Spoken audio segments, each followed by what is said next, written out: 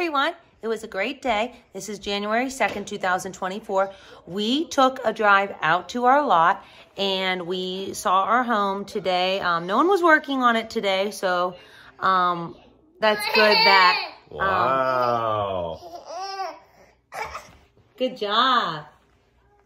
So, um, but that's good that the workers are getting some rest and relaxation. But it looked Cool. amazing. All the windows are put up, and I believe they're going to be, um, they're they're going to start on the balconies and um, the roof to some of the balconies this week, I believe. So, I also have a meeting this week to finalize kitchen and bathroom designs um, with that company. So I'm super excited for that. But yeah, we had a great day and uh, keeping um, all of our friends and family in our prayers for a healthful, prosperous, joyous new year. Hope you all are having a great start to your new year. God bless.